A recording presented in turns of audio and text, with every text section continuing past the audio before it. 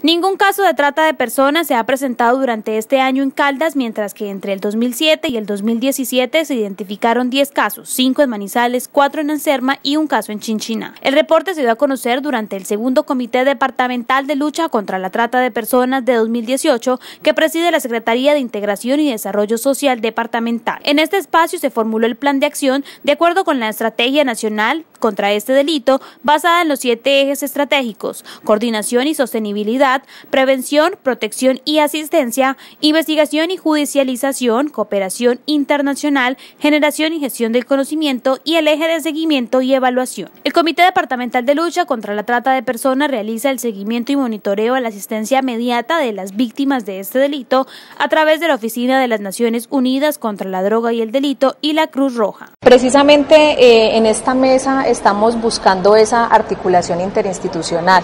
La idea es que todas las instituciones del Estado puedan dar información sobre a dónde se pueden acercar las personas que han sido víctimas de trata. Eh, en Manizales existe una oficina en la alcaldía donde las personas pueden acercarse a recibir información.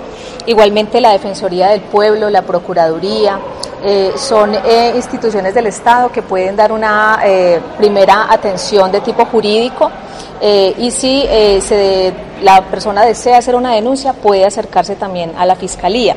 Después de esa denuncia, de ese primer proceso, entramos las demás instituciones a desarrollar las atenciones pertinentes.